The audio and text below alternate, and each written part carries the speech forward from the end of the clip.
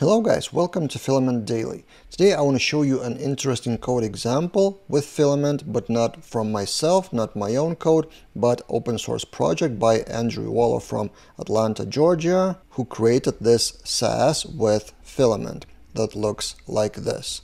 And specifically this page caught my attention of how to show something like this with this form and invoice preview. This repository is open source and I will link that in the description below, but let's take a look at that specific page. And this invoice setting page is not a filament resource, it's a filament custom page, which is actually Livewire component with the form. It is an app filament company pages setting invoice PHP. And if we scroll up, we see something like this. Some of the settings are from Filament, like navigation, like slug, some other stuff, but the important part is probably this one. So there is a view, blade view, that contains that page. The page blade with the form. So the form is defined in this class, in the mount, and then fill form and then a bit later there's general save and the form schema is defined in here. So there's a form method and the form contains a few sections, so general content and template, and then each section contains the familiar stuff with filament, text input, select, and others. In this video, I will not dive deep and explain every line. I want to show you the principle of how to create such a page with the preview of invoice. So in one of the sections of that form, in the get template section, there's quite an impressive work done with grouping everything to make it visually appealing.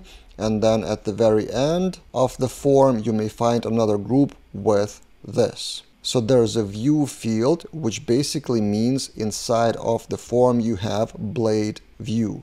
And this is a blade view file.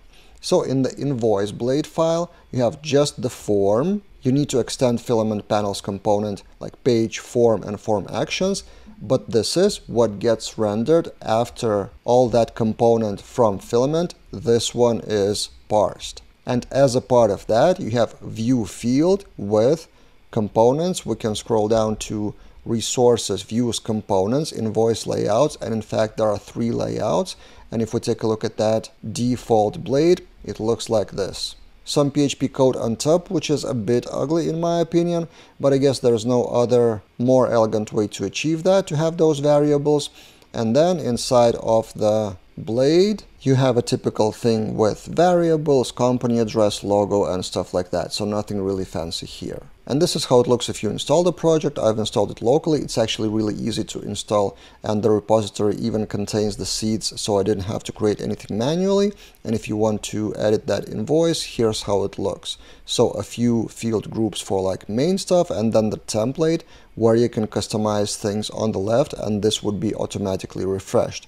So for example, if you change the template, the modern template would be refreshed automatically. So this is, I think, a great example of combination of power of a few tools on top of each other. So Laravel on the back end, then for that dynamic behavior, it's a Livewire component with Livewire forms and variables, and then everything is wrapped in a filament functionality of admin panel, layout, user management, and stuff like that. Great, great example. And I will link that GitHub repository in the description below so you can take a look at the full code. And I'll probably pick a few more tricks from that repository because I think there's quite a lot of things for us all to learn about Filament and Livewire and custom pages. So expect a few more videos about that open source SaaS in the future. To get all of those, of course, subscribe to the channel and see you guys in other videos.